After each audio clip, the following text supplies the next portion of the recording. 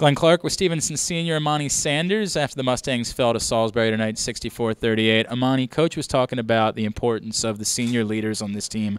Obviously, this is a tough loss. How important is it as your role to try to pick up these girls as you have two more games at home this weekend? Well, as coach said, we have a young team, so we got to rely on our captains to keep everybody up. We can't get too high after a win, we can't get too low after a loss. So we we know we have some things to work on, but like you said, we have a young team, so we know that the the the captains still have to lead and try try to get people in the right spot. So hopefully it'll it'll come together. We know we still got some things to work on, especially after this, this game. But we know we also have a tough season up ahead of us. So, like I said, we can't get too low. It's just it's a loss, but we got to keep moving forward after that.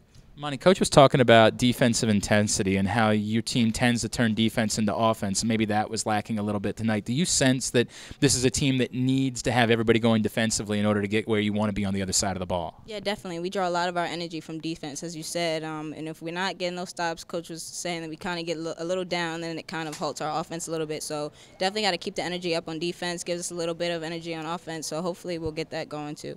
Imani, what's the message? You know, when, when you're talking to the girls this week after a really tough loss like this, what is it that you're telling them as a senior, as somebody who's been here before? We just got to come out with confidence, have energy. Like I said, you can't get too low. It's just one game. You got to take it one game at a time. So it's it's a loss. It, it hurts, but you got to get over it to get past the, this one to the next game. So um, we'll move past it and look forward to Saturday.